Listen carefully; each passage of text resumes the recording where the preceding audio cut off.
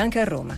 RDS Green e Paola Gubbiotti. Filiera bio, equa, italiana, partendo dai primi anelli, dai produttori alla grande distribuzione organizzata. Firmato il protocollo tra gli agricoltori e l'industria molitoria, in un'ottica di maggiore sostenibilità ambientale, economica e sociale. L'obiettivo è promuovere progetti di filiera del grano 100% biologico italiano e soddisfare i requisiti di qualità e sostenibilità e di garantire il giusto prezzo a tutti i soggetti coinvolti, consumatori inclusi. Il presidente di CIA Agricoltori Italiani, Dino Scanavino. Questo è l'obiettivo principale che valorizza tra l'altro la tracciabilità dell'origine del prodotto attraverso anche sistemi innovativi come quelli digitali. In Italia l'agricoltura biologica ha dimensioni molto importanti, 2 milioni di ettari coltivati, la eh, sfida che l'Unione Europea ci pone è quella di raggiungere il 25% dei terreni agricoli coltivati con metodi di agricoltura